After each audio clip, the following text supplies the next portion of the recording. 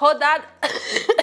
Nossa, eu tô toda errada. Tô com febre, quer dizer, não tô mais, mas assim, um passeio comigo nesse rodada, essa luz já tá me incomodando. Não tá fácil pra mim esses dias, tá? Mas como eu sou uma boa apresentadora de canal, vim aqui fazer o Rodada NBA para vocês se divertirem hoje à noite, não é mesmo? Tem que também dar um recado bem importante. Não sei se vocês seguem o Twitter, sei que a maioria de vocês, quem é do YouTube, geralmente não tem muita conta no Twitter, mas fica aí a dica de vocês fazerem uma conta no Twitter para seguirem vários perfis de NBA, como por exemplo o Celtics Brasil, que me mandou mensagem. Eles vão fazer um evento super legal, dia 27, aqui em São Paulo. Vou deixar o link na descrição. Eles vão assistir o jogo e, e é mó legal, porque um monte de gente se fala, vocês conversam aí de basquete o dia inteiro e pode ir perfil de tudo quanto é gente. Não precisa ser só quem torce pro Boston. É que o jogo especificamente vai ser do Boston, mas se você quiser conhecer as pessoas, vai lá, vou deixar o link, beleza? E o recado também de seguir a gente no Twitter, porque o Twitter é um mundo mágico. Vamos começar a falar dos jogos? Cavaliers e Indiana Pacers. Eu não ia falar desse jogo, que eu falei já no outro rodada, que eu falei muito provavelmente eles vão ganhar, e se eles perderem, eles vão perder de pouco.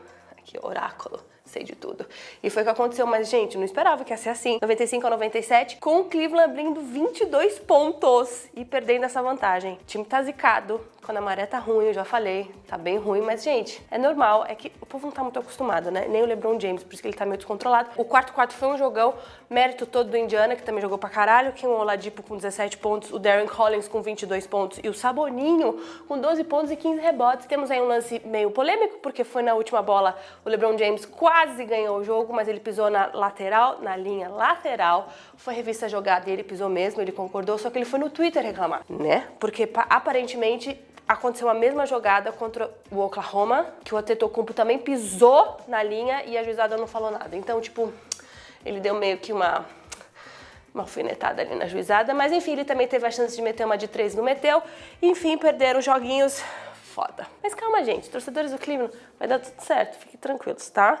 É só uma maré ruim. Próximos jogos eles vão jogar bem, você vai ver, vai dar tudo certo. Lakers e Dallas. Jogo que foi para a prorrogação, o Lakers ganhou de 107 a 101 com Cantavius Papava que é um jogo, um nome muito complicado, 17 pontos. Julius Randle, que acabou com o jogo. O nome do jogo, 23 pontos, 15 rebotes. E o Kyle Kuzma com 18 pontos e 10 rebotes. O Randle, que cresceu em Dallas, então ele tinha toda uma questão, né? Tipo, estou jogando em casa, e jogou mesmo, meteu uma bola muito foda no overtime, que assegurou a vitória pro Lakers. O Dallas que perdeu a vantagem de 10 pontos, ou seja, eles têm que rever aí o que eles estão fazendo de errado no quarto quarto, ou seja, o jogo estava na mão do Dallas, eles perderam essa vantagem.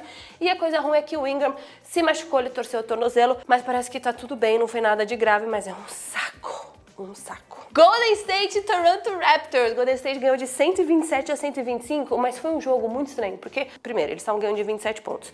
Coloquei lá pra assistir, estão ganhando de 27 pontos, metendo bola torta direita, sabe aquela inércia de jogo que, tipo, cai todas as bolas, o Toronto meio que sem saber o que fazer, perdendo bola. Eu falei, ah, mano, esse jogo não vai dar em nada. Já foi, nem ia comentar esse jogo hoje, no rodada, porque, tipo, ia ser mais uma vitória, tipo, de 20, 30 pontos do Golden State. Tirei, dia seguinte, olho lá, mano, quase que o Toronto ganha esse jogo. Puta que pariu! A vantagem caiu para um ponto no último quarto, 116 a 115. Mas aí, né, o Curry que voltou, ele tava dois jogos sem jogar, metendo bola torta direito. E como é bom esse time, né? Gente, sério, é, o Golden State é uma coisa Sei que vocês falam que a gente é modinha, que a gente fica só falando, ah, quer dizer, eu não sei. Alguns falam que a gente critica o Golden State, outros falam que a gente é modinha e torce pro Golden State. Vocês precisam se decidir, não é mesmo? Que no caso eu não torço pra ninguém, né? Esse é, é né? Mas enfim, mas você vê os caras jogando, tipo, eles não forçam as bolas de três, entendeu? Tipo, a bola movimenta toda hora. Então, tipo, sim, eles chutam muito de três, mas não é forçado. Algumas são forçadas, mas a grande maioria não são. Tipo, é muito foda. Eles têm um banco muito foda. Eles. Vai ser difícil ganhar deles esse ano de novo. Mas estamos aqui. E o DeRozan também criticou muito a arbitragem. Aliás, a galera tá criticando a arbitragem loucamente esses dias aqui. Não sei o que está acontecendo. tipo, eles não têm medinho, não, né? Eles criticam mesmo. Tá certo, tem que criticar. Tem que criticar e é assim que funciona. Porque critica melhor, critica melhor. Vai fazer isso aqui.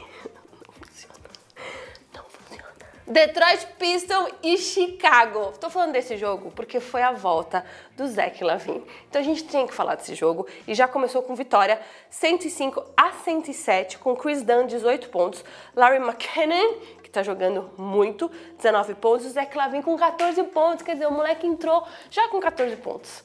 Fico feliz porque ele foi ovacionado, ele não jogava desde o dia 3 de fevereiro, ou seja, quase um ano que ele não colocava o pé na quadra. Então, tipo, ele se sentiu super motivado, feliz pra caramba que tava jogando. Você vê na cara dele que ele tava feliz de estar tá lá, sabe assim? Tipo, porque é foda, cara, quando você é muito novo e machuca, você fica um ano sem jogar, você fica meio questionando, sabe? Tipo, será que vai dar tudo certo? Será que eu vou conseguir jogar novamente? Porque é uma pessoa que não conquistou ainda tudo que queria, né? Tipo, você foi um cara mais velho, tipo um Ginobili, um Kobe Bryant na época. Tipo, beleza, já fiz a minha carreira, entendeu? Se eu machucar, vou ficar um tempinho, volto, mas, entendeu? Já sou foda, fui foda, entendeu? Tipo, não tem problema. Agora, esses caras, é uma merda, cara, porque o psicológico faz como?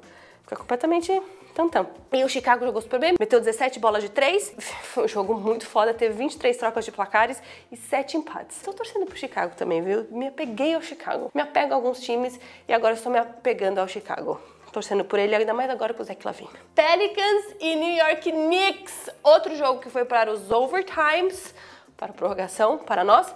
123 a 118. New York Knicks cagou muito, né? Tipo, cagou muito porque eles estavam na frente o jogo inteiro.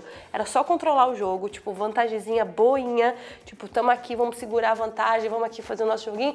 Não sei que caralho aconteceu, porque os Pelicans estavam sempre, tipo, não deixando abrir, não deixando abrir. E no último quarto, eles foram lá, empataram o jogo. E no overtime, jogaram pra caramba, com Anthony Davis com 48 pontos e 17 rebotes. Um DeMarcus Cousins com 15 pontos e 16 rebotes e um Drew Holiday com 31 pontos, ou seja, esse povo jogou pra caramba, meteu bola, foi foda, tipo, muito foda.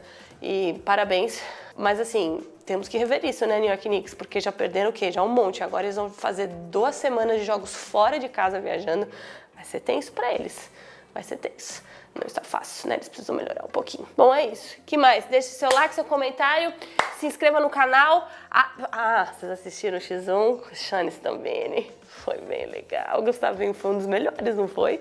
Tipo, foi bem. E vai sair mais uns outros bem legais. Então, tipo, fiquem ligados no canal. Deixe seu comentário, deixe seu like. Sigam a gente nas redes sociais, né? Porque a gente é bem legal nas redes sociais. Sigam a gente no Twitter, sigam a gente no Instagram. O que mais? Tem mais algum lugar? Não, e aqui, né?